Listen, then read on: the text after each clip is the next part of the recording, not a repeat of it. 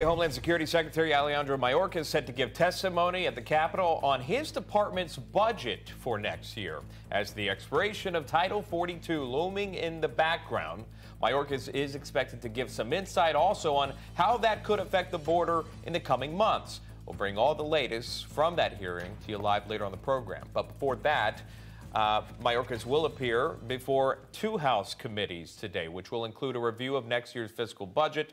Uh, congressional correspondent Kilmeny Duchardt joining us live. She has the latest there from the Capitol. Kilmeny.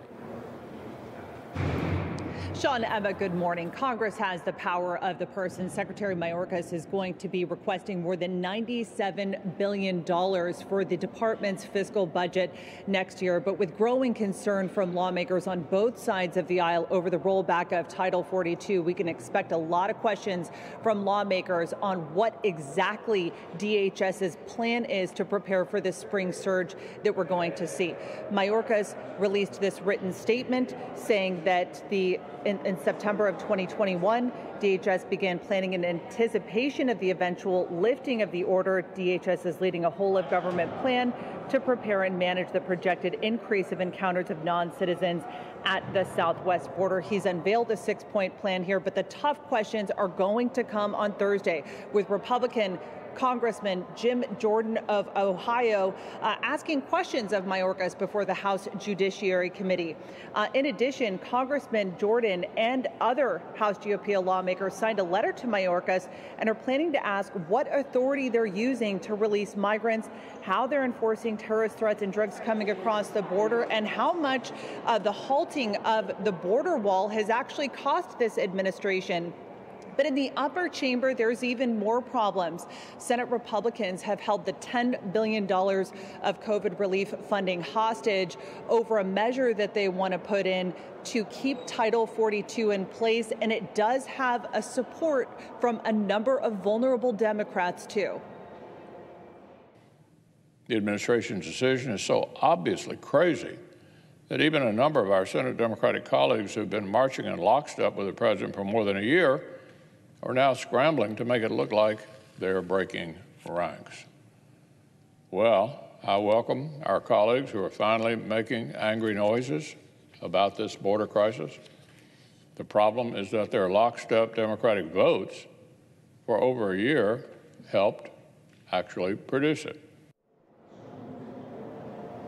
With even one Democratic vote, Republicans would be able to push that through with a simple majority. But the real challenge would be in the House, where House uh, the House Speaker Nancy Pelosi is also reportedly very unhappy with the Biden administration over its handling of Title 42. That could come into play when it comes to the Ukraine aid.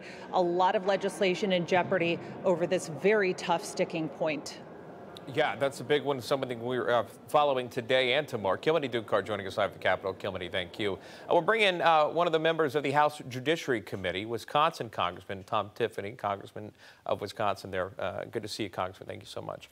Uh, if I could get your reaction there to that report. Uh, so we're going to see Mayorkas again, um, not just today, but also tomorrow as well. And, and, lawmakers are going to have specific questions for him on Title 42, um, on MP or remain in Mexico, uh, that, that policy as well. What are your thoughts on how Secretary Mayorkas has handled the surge at the border thus far? Well, I think all you have to do is visit the border and talk to Border Patrol, and you'll find out um, uh, what's going on there. First of all, let's be real clear. Our United States government, via the Biden administration, is now running the biggest human trafficking operation, perhaps in the history of the world. And I was just down to Yuma last week, and the head of the border uh, section down there in Yuma, he said that with Title, if Title 42 goes away, he has warned the police chief of Yuma that we may have to just release people into the streets, that we're not going to be able to screen, we're not going to be able to hold them for extended periods of time 48, 72 hours and we're just going to dump them into the streets of Yuma. That's what's coming to America. Talk to me about uh, what you expect today from other lawmakers, and I'll, I'll, point to this too. There was a letter from um, from House GOP members that that sent out um, to the secretary saying this. Uh, a quick tear here. It says, "quote Your actions have willingly endangered American citizens, undermined the rule of law, and our nation's sovereignty." End quote. Uh, again, just a snippet from their, that letter there from um, House Republicans. But what do you expect for for questioning in terms of the secretary today and tomorrow? What do you want to hear? Yes, so I'll be on the panel tomorrow in Judiciary. But for example, with appropriations today, um, we've heard from Border Patrol, ICE, and others. They have said that it isn't more money that we need. We just need the authority to be able to do our job. They can't do their job currently as a result of the policies of the Biden administration. But, you know, I find it really interesting um, uh, Secretary Mayorkas just came out with his plan yesterday, 20 page plan. I had a chance to read it last night. The very first sentence says under the Biden Harris administration, DHS has been executing a comprehensive and deliberate strategy to secure our borders and build a safe, orderly, humane immigration system. Well, they've developed a comprehensive and deliberate strategy, but there's nothing safe about it, nothing orderly, and it certainly is not humane. Just talk to Bishop Evans, the te- Texas National Guard member who gave his life in the Rio Grande River. Yeah, his body was uh, found recently again, um, and many were pushing back on several in, uh, in, the administration, really not having much to say about it, only pushing back that, well, this was a member of the Texas National Guard, a member of the state, um, and not given orders by the federal government. Actually, what you just said, um, we actually have a tear of that I would like to have put up while you're reading that. Um, and this is it here and what you were talking about here. Um, and essentially, again, that 20 page plan, uh, but it's a new border strategy. But why now, Congressman, in your opinion, why, why now are we hearing about this new plan? These numbers have been on the rise um, since this president took office. Um, what is prompting this quote unquote new plan or this 20 page um, this 20 page um, document that is come out with this new plan. Why now? In the, inter- in the run up to this interview, Kilmeny said it very well that there's Senate Democrats that are starting to break ranks.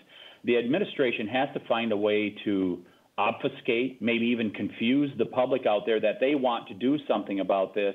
They know they've got a huge problem politically, and they've got to figure out a way to try to message this.